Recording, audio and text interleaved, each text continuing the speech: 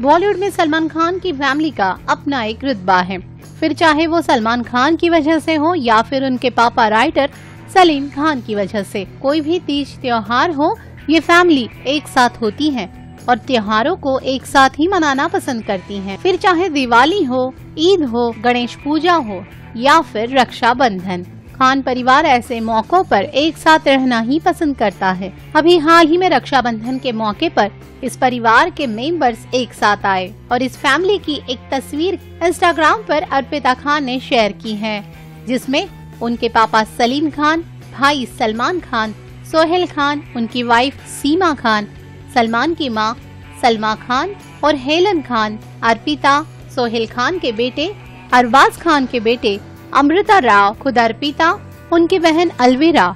अलवीरा के हस्बैंड अतुल अग्निहोत्री और अर्पिता के हस्बैंड आयुष शर्मा नज़र आ रहे हैं। ये खूबसूरत तस्वीर इस फैमिली के एक साथ होने की गवाही देती है। हालाँकि इस तस्वीर में एक पर्सन मिसिंग है और वो है अरबाज खान। उनकी वाइफ मलाइका अरोरा खान भी इस तस्वीर में कहीं नज़र नहीं आ रही हैं।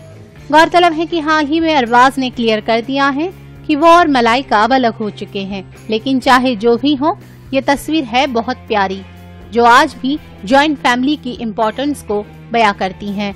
इसी तरह की न्यूज़ गॉसिप्स और कंट्रोवर्सी से जुड़ी खबरों के लिए आप सब्सक्राइब कीजिए दिबॉम्बे टाइम्स चैनल